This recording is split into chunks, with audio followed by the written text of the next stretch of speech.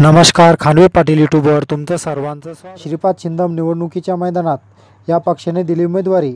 छत्रपती शिवरायांबाबत आक्षेपार्ह वक्तव्य केल्यामुळे वादाच्या भोवऱ्यात सापडलेला नगरसेवक श्रीपाद छिंदम महाराष्ट्र विधानसभेच्या रिंगणात उतरला आहे. मायावतींच्या बहुजन समाज पक्षाने श्रीपाद छिंदमला अहमदनगरमधून उमेदवारी दिली आहे.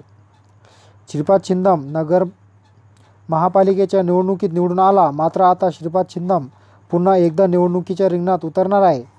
श्रीपाद छिंदमने महाराष्ट्र विधानसभेची तयारी केली आहे. काही दिवसापूर्वी छिंदमने अहमदनगर जिल्हाधिकारी कार्यालयातून उमेदवारी अर्ज नेला होता. श्रीपाद छिंदमला कोणत्या पक्षाकडून उमेदवारी मिळणार नाही असंही स्पष्ट झालं होतं. दरम्यान श्रीपाद छिंदमला बसपने उमेदवारी दिली आहे.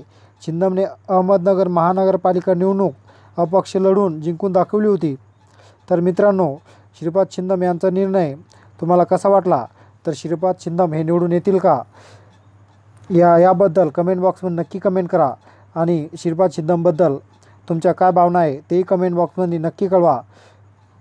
आणि तुम्ही जर माझ्या चॅनलवर नवीन असाल तर माझ्या चॅनलला नक्की सबस्क्राईब करून घ्या. आणि बाजूला असले बेल